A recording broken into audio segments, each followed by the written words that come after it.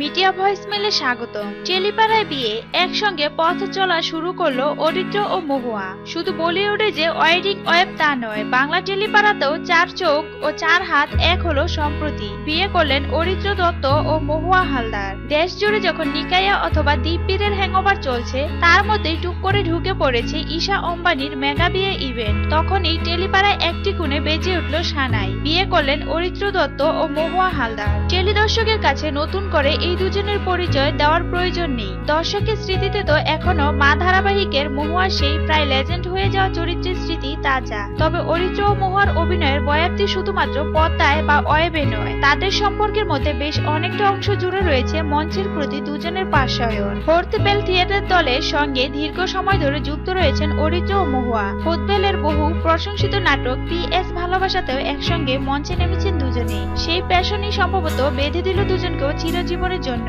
গত পনেরোই ডিসেম্বর ছিল বিয়ে। তার আগে ফোর্থবেল এর বন্ধুরা তাদের একসঙ্গে আইবুড়ো ভাতও দিয়েছে। বিয়ের অনুষ্ঠানে উপস্থিত ছিলেন থিয়েটার ও টেলিপাড়ার বিশেষ বন্ধুরা। টেলিপাড়ার এই নবদম্পতির জন্য রইল অনেক অনেক শুভেচ্ছা। এই ছিল আজকের আয়োজন। ভিডিওটি ভালো লাগলে লাইক, কমেন্ট, শেয়ার ও সাবস্ক্রাইব করুন। প্রতিদিন নতুন নতুন ভিডিও পেতে মিডিয়া ভয়েস মেলের সাথে থাকুন।